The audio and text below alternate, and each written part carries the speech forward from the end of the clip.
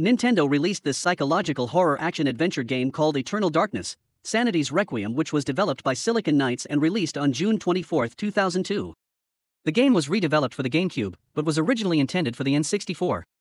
It is the first M rated game released by Nintendo, as well as the first game released after Satoru Iwata became president of Nintendo. The gameplay mechanics are similar to Resident Evil, but unique features like sanity effects help differentiate the game. While battling a powerful force bent on enslaving humanity, players assumed the roles of a variety of characters. Eternal Darkness received a lot of praise from critics and won numerous awards, but it was not a commercial success. It was cancelled by Nintendo, publisher and owner of the game's copyright and trademark. Silicon Knights went bankrupt a decade later and disbanded. There was an attempt to make a spiritual successor to the game called Shadow of the Eternals, but both Kickstarter campaigns were unsuccessful. This resulted in a project being put on an indefinite hold.